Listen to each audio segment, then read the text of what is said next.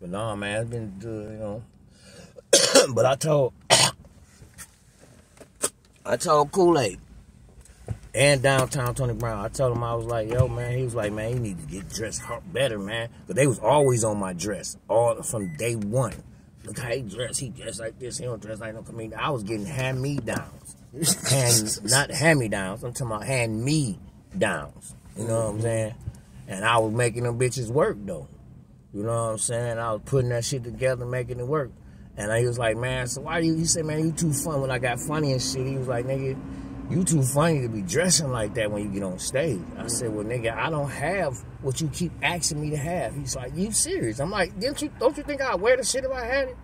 He was like, all right. You, you serious? I said, yeah. He said, I'll tell you what.